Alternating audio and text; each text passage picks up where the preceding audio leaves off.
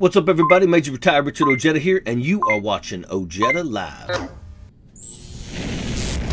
Countdown achieved. It's time for Ojeda Live.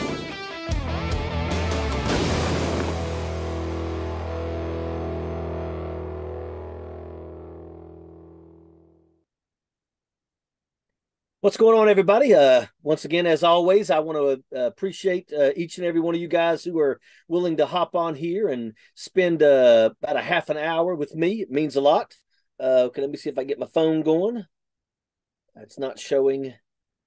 Okay, here we go. Let me hit the play button here so I can get that open. Now, Anna, let me uh, turn my phone all the way down. Anna, what I want you to do also is uh, while you're looking at the chats, if you see people from other countries, kind of jot their names down so we can make sure we highlight those those guys. Uh, okay, folks, let's go ahead and just jump right in because I got some stuff and and we'll have a good conversation about this. Uh, a judge rules that Donald Trump's stand back and stand by is admissible, relevant evidence in the Proud Boys trial. So uh, I, I've said this before. You know, this isn't just Enrique Tarrio. There's a lot of these guys that are going to basically be held accountable for what they did on January the sixth. Uh, and and I'm going to tell you that the majority of them are absolutely wanting to say, you know, we, we were told, uh, and and and that's a pretty good, uh, what is it, a defense. Uh, I mean, if they have any defense at all, that's that's probably the best one. Uh, District Judge Timothy Kelly said that the former president's comments showed an additional motive to advocate for Mr. Trump and engage in the charged conspiracy to keep Donald Trump in power. Uh, and make no mistake about it, you know, there is plenty of interviews that have taken place that absolutely, when Donald Trump said, stand back and stand by, I mean, they ate that up. Uh, as a matter of fact, there are phone messages now that are are basically out that show exactly how they felt, and they were like, "Let's do it." They're we're we're pumped, so they knew. During a presidential debate in 2020, Trump was asked by moderator Chris Wallace if he would condemn white supremacists and militia groups. Democratic candidate Joe Biden interjected and specifically meant the Proud Boys. Trump responded with Proud Boys, stand back and stand by. But I'll tell you what, somebody's got to do something about Antifa and the left because this is not a right wing problem this was the stuff that these people were just eating up. You know, it basically validated them in their minds. You know, they felt that, you know, all of a sudden these militias now were going to be front and center. And, and that's what happened. Uh, the comment, according to prosecutors and members of the Proud Boys who testified publicly to the House Select Committee investigating January 6th, was celebrated by the far right group and was used as a recruiting tool. And uh, I mean, I will tell you, I guarantee you the Proud Boys numbers probably doubled, maybe even tripled after Donald Trump said what he said. Remember that right after Trump said that, Enrique Tarrio, the leader of the Proud Boys, tweeted, Standing by, sir. They knew it. They knew it. What this means is prosecutors will use this to show Trump lit the match and Tarrio's defense will be that he was doing what the president asked of him. So, I mean, we're still going to see what's going to happen. Uh, I believe that uh, Elmer Fudd Rhodes and Enrique Tario are going to get pretty much the same sentences. They're going to get convicted of the same crimes, uh, and they're going to go down. And and understand that every single Proud Boy that basically crossed into the capital of, of the United States on January the 6th, it's all going to be the same thing. Uh, you know, they're going to claim that they were just doing as they were told by the president of the United States. Uh, it's not going to go as well as they think. I, I believe that Tarrio and, and Rhodes are going to do more than a decade behind bars. And as far as I'm concerned, I am completely fine with that. Uh, what do you think, Anna? I think that um, I specifically remember when that uh, debate happened, and he said that. Uh, I think a lot of people were shocked when he was like, "Stand back and stand by," because it it's deliberate. He always like makes up some excuse, but he's being yeah, deliberate. like like he didn't have. I mean, you were given the opportunity to denounce white supremacy mm-hmm. and he couldn't do that. Yes. And and and ladies and gentlemen, you know, there are all there's already stuff out right now that, you know, there was like a private gathering of Mar-a-Lago not too long ago where literally it was just a bunch of white supremacists. Donald mm-hmm. Trump threw a little event, you know, and and and they tried to keep it secret, but you can't keep things like that secret. Uh, there, there's people that are working at Mar-a-Lago that absolutely are are are letting people know what the hell's going on. Uh, and that's just the way that it is. But Donald Trump, you know, you you we we could go back in in Donald Trump's history. I mean, everybody knows when when what it was called. There's five young men, you know, black men that were basically facing charges that were going to put them away for for life. They were found to be innocent, but Donald Trump still took a full page after they were found innocent trying to target them. The you know, Central we know Park that Five? Donald Trump. Is that it? Yeah, that's it. That's it. The Central Park Five. Uh, we know that Donald Trump was angered when he found that there were construction workers working in the lobby of the Trump Towers that were black because he didn't want all of those people seeing black people do construction work on his building. I mean, we know he's a racist. And if you don't know he's a racist, then you're just not that smart. And we know that there's a lot of these people that go to his rallies, you know, blacks for Trump. Uh, they're just not that smart. Uh, you know, or or or they're monetizing it. You know, the diamond and silk, and I got it, you know, uh, uh may she rest in peace.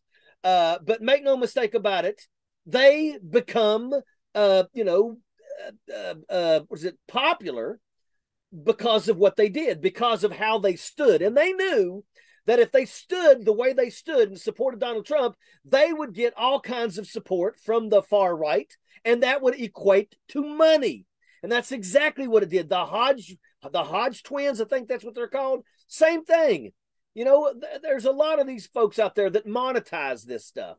And make no mistake about it, these white nationalists love nothing more than a person of color that will stand on their side so they can then act as if they're fine with you know people of other colors and other other race creeds and religions this is what they use this is their mo to try to act like they're not as bad as you think they are make no mistake about it they are just as bad if not worse than the way you think of them and that's the absolute truth you know, I can assure you that if these people had the power, if they had the power, they would expel people of color from this country. I mean, come on, Donald Trump tried to ban a religion in the United States of America. Let that sink in. And there is a lot of people in the United States of America that follow the Muslim faith that aren't out there blowing cars up and things like that. But make no mistake about it, they want you to think that that's exactly what those people are. And they mean every one of them. And it couldn't be further from the truth. And that's a fact. Okay. Let's let's see who we got on here for roll call.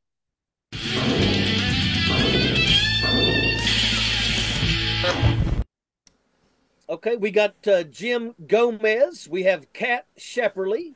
Paula Bradley Davis is on here. Charlene Stout is on here. Kevin Patrick Murphy. Wanda Woy.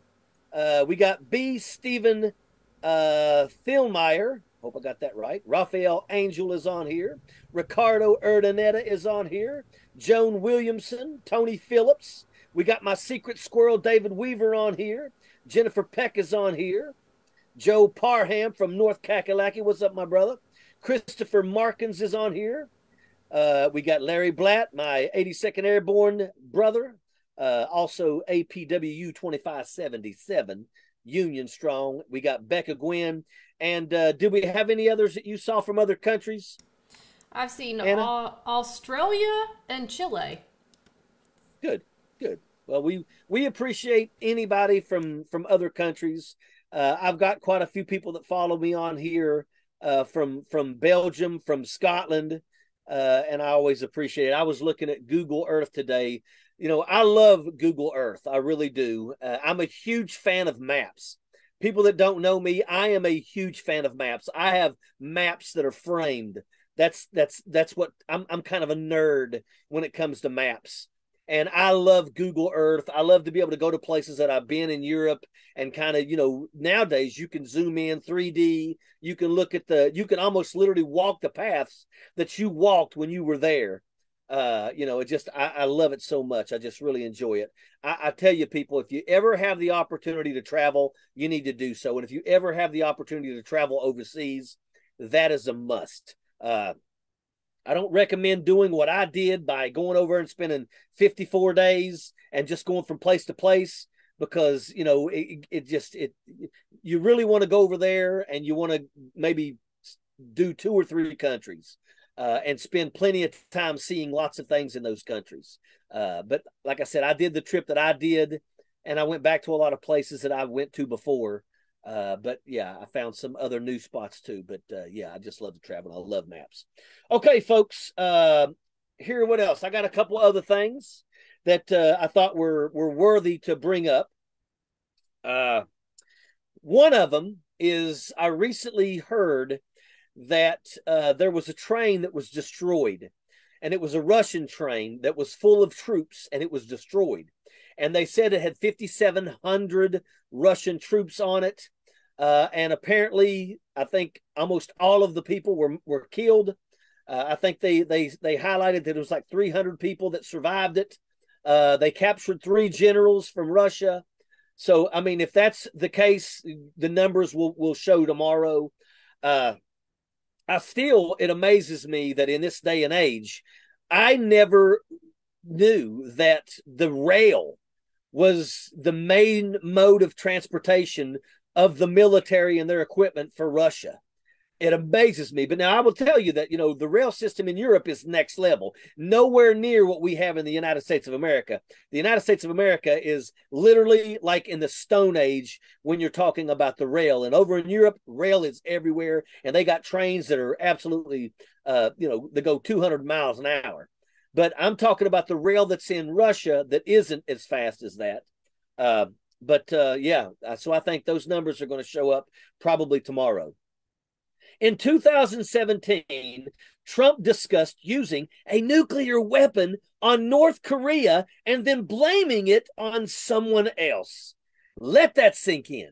Understand, folks, that nuclear weapons, you know, those that have nuclear weapons, they have them, but it's never even wise to rattle that saber because everybody should know that if you use a nuclear weapon, anybody uses a nuclear weapon, it's not going to end that way. You're not going to win a battle that way. The only thing you're going to do is you're going to cause more people to come a- a- against you, and that's a fact. If if Vladimir Putin uses a nuclear weapon in Ukraine, Think about the countries that surround Ukraine and understand that the fallout of a nuclear weapon will absolutely affect them greatly.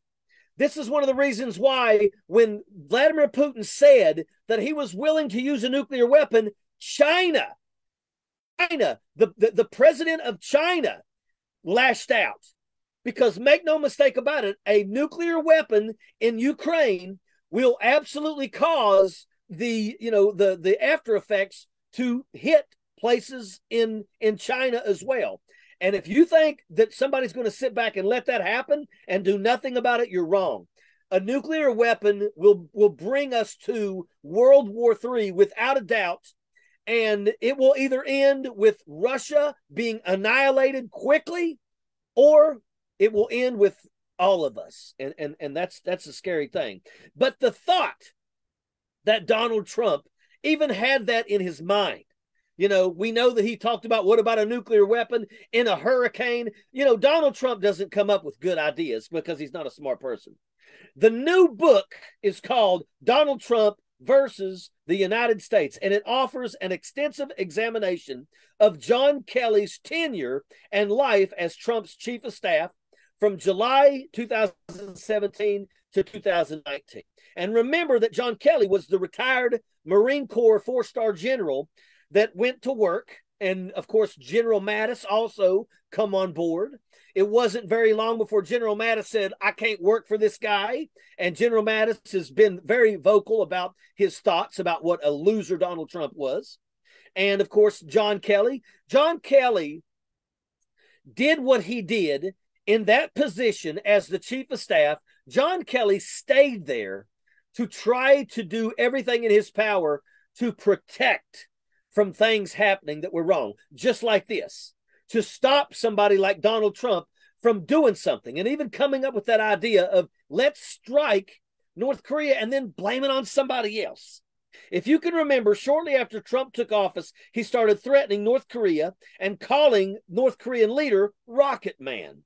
It was during this time John Kelly started feeling as if it, that Donald Trump really wanted to go to war.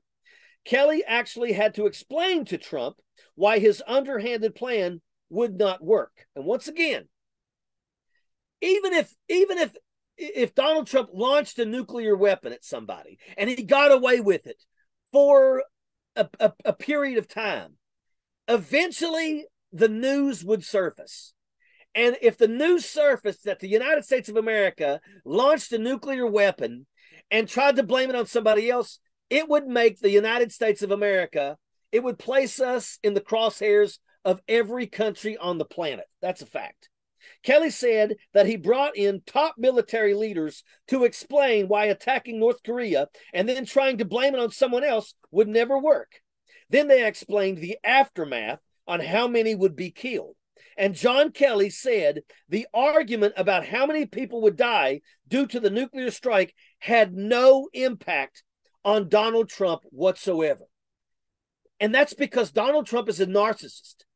And Donald Trump doesn't look at people the way normal people look at people. Donald Trump looks at people and thinks, what can they do for me? And if they can't do anything for Donald Trump, Donald Trump has no issues with whatever happens to them. He doesn't care about them. And that is absolute fact. But the thought about that, because a nuclear explosion anywhere, if a nuclear explosion hit Seoul, Korea, Seoul, South Korea, millions of people would literally die instantly. If you're talking about major cities in certain locations, millions of people would die. If if you launched a nuclear weapon at North Korea, understand that the after effects would kill many many people in South Korea as well and it also would cross into China. Once again, making China absolutely ready to to fight anybody that that pushed that off. So Trump was the president, and the power felt very very good to him. Trump is a narcissist, and the loss of life other than those close to him doesn't matter, and that's a fact. And and and I'm going to tell you, folks, before this is over with, we're going to watch him throw his own children under the bus. Donald Trump will throw his own children under the bus before he goes down. All of this is to try to persuade Trump from moving forward, failed because after the brief about the amount of death started talking about a preemptive strike. Kelly told Trump he would need approval from Congress, which angered Trump. And you got to think why? Because Trump is the wannabe dictator that believed everything is his and he could do whatever he wants. And he believed that as president, he shouldn't have to ask Congress. But, ladies and gentlemen, that's part of the Constitution, folks. Let me tell you something. We have to get permission from Congress before we can strike another country. And then another story that I have is Jack Smith's new subpoenas to former Trump officials have been revealed. And ladies and gentlemen, I'm telling you, Jack Smith is requesting more information into the money that was used to pay for things like the January 6th rally and other financial grifts that Trump has used. And I'm going to tell you, folks, this is great. And listen to what I'm saying. Because a lot of these people that donate to Donald Trump, it's so sad because a lot of them are poor people that don't have that much money, but they think they're doing the right things. But listen to this. If it isn't just going to go after Trump's Save America PAC, but also Trump's Make America Great Again PAC. That's two. Then you got the Save America Joint Fundraising Committee. That's three. As well as the Trump Make America Great Again Committee, not PAC, but committee. That's four. And then also the Election Defense Fund. There's five, which actually wasn't a real fund at all. It didn't even exist. And when people sent money to that, it automatically went to Donald Trump's bank account. So all of this stuff is going to be brought to the forefront, and we're going to get to see this stuff. And once again, you know, I think about all these people that sent money to Donald Trump and they thought they were doing the right things. Donald Trump took your money. Donald Trump doesn't care about you. In the end, Donald Trump couldn't give two shits about any people that are not multimillionaires and billionaires. Those are the people that Donald Trump respects. Those are the people that Donald Trump likes. And those are the people that Donald Trump likes to be around. Donald Trump does not like 99% of his supporters because, in actuality, he thinks he's above them and they are beneath him. And that's a fact. So the money from that never went to his defense, but actually went directly to his pocket. So some of this money may have also went into pockets of those who may be thought to have been ta- uh, targeted by the feds in order to keep them quiet. So let that sink in. They're looking at the opportunity that Donald Trump may have taken to take money and bribe people to basically keep their mouths shut. So I'm going to tell you this Jack Smith is on it. He's on the case. And I'm going to tell you, I think it's all but done. I think that we're going to see indictments. I think that we're going to finally see a president go to prison. And as many times as I said, I don't think we're going to see him go to prison. I think that there's a possibility that maybe he will, and maybe he has to for our democracy to exist. And that's a fact. And we can talk about all the stuff that's going on right now with the House members, the Republican House members, and the and the underhanded tactics they're trying to do to make sure that they can try to stop their people from being investigated. And and and as they get caught doing that, just know that they don't have a problem with other people, average citizens going to prison. They just don't want themselves to be held accountable for the crimes that they've committed while they've been in office. And it absolutely has to happen. Okay, so with that being said, what do you think, Anna? I'm uh, looking forward to see what if there's anything that Jack Smith has that hasn't been released or hasn't uh, has been kept on the down low. It would be really interesting to see if there was was stuff even like that the uh, January 6th committee had that just wasn't put out in the public. Um, yeah, I think I think that they have they have millions of documents mm-hmm. and they've got phone records of all kinds of people and you know these people that are being you know subpoenaed uh lindsey graham uh, you know, I, am I'm, I'm waiting to see, uh, you know, if any crimes are going to be tied directly to them. And then, you know, once again, I, I think that the enablers that enabled Donald Trump to do what he did, uh, I think they need to go. And that's and that's one of the scary reasons why the Republicans right now are trying to get oversight of the Department of Justice. Mm-hmm. They want to get oversight over the Department of Justice so they can stop investigations into them. They can stop investigations into Marge the Trainwreck Greene and, and Rick Perry uh, uh, uh, and these jackaloons. And I'm telling Scott Perry about this. Uh, but I'm telling you, it's, it's absolutely horrific. All right, what kind of, uh, we got some memes, right? We have some memes. Let's bring them up. Hunter's laptop!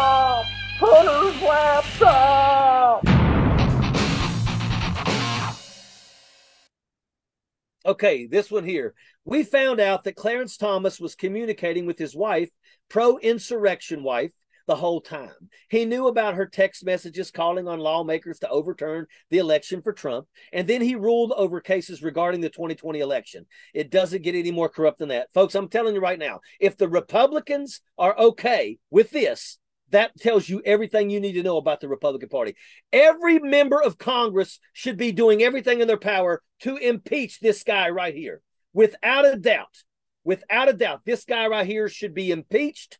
And and once again, we know the majority of people now feel that the Supreme Court is completely partisan, and that is not where it's supposed to be. What that means is that these people have failed. They have failed miserably. This is an underhanded, crooked judge, and he should be held accountable for what he's done. He should be removed from office. And if the Republicans had any spine whatsoever and they cared about justice, they would absolutely be doing everything in their power to remove him. All right, I know we got a couple more. What else?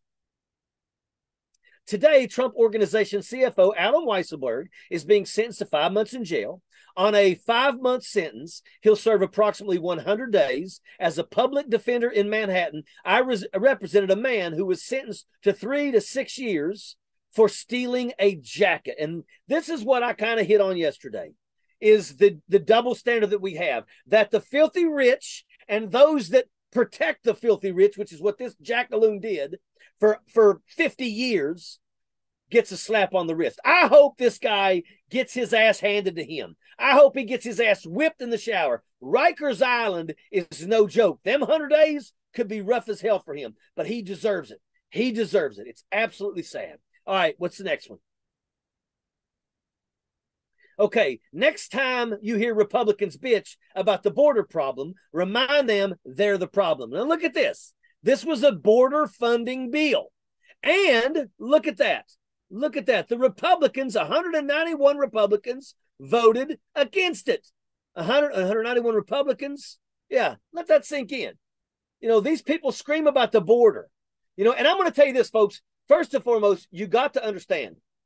Do you think rich corporations really want the border to be shut down completely? If you don't realize that migrant workers on those farms in Texas and Arizona, New Mexico and California, if you think for one second that those farms do not rely on migrant worker, you are misinformed. You don't know what you're talking about. Everybody wants to scream about the immigrants at the border. But make no mistake about it, they need those immigrant workers because guess what? Those immigrants will do work that most people in America are too lazy to do. And it's absolutely spot on. And you can guarantee I'm telling the truth. Okay, we got any hate mail? We do. We do have some hate mail. Awesome. I didn't win the election. I lost bigly.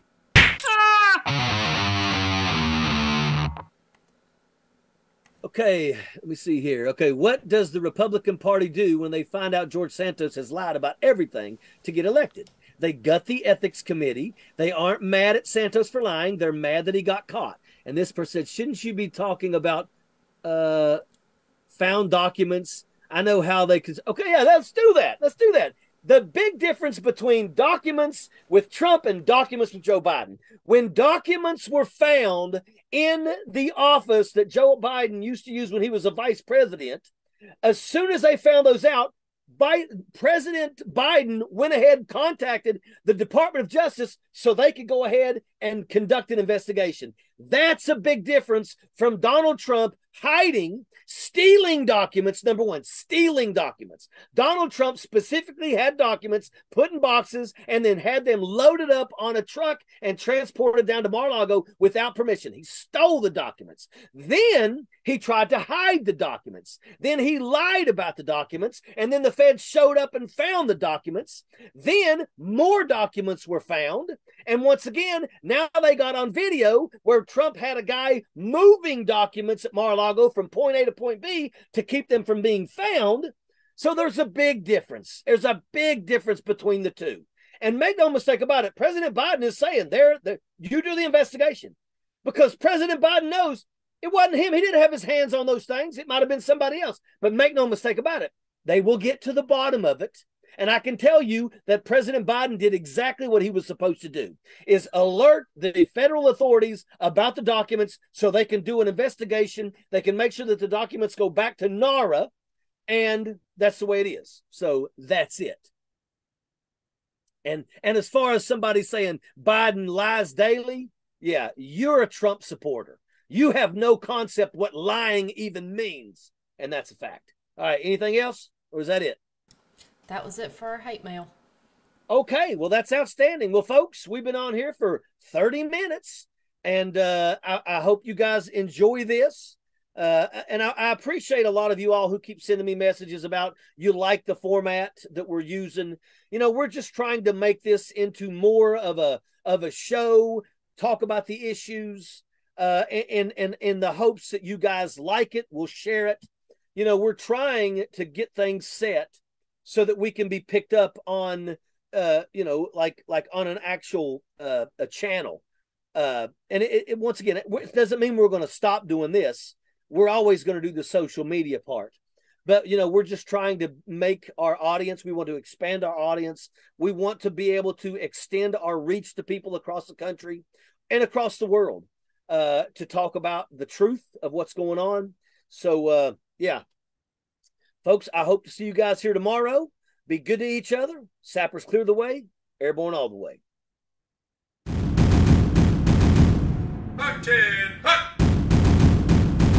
Eyes right!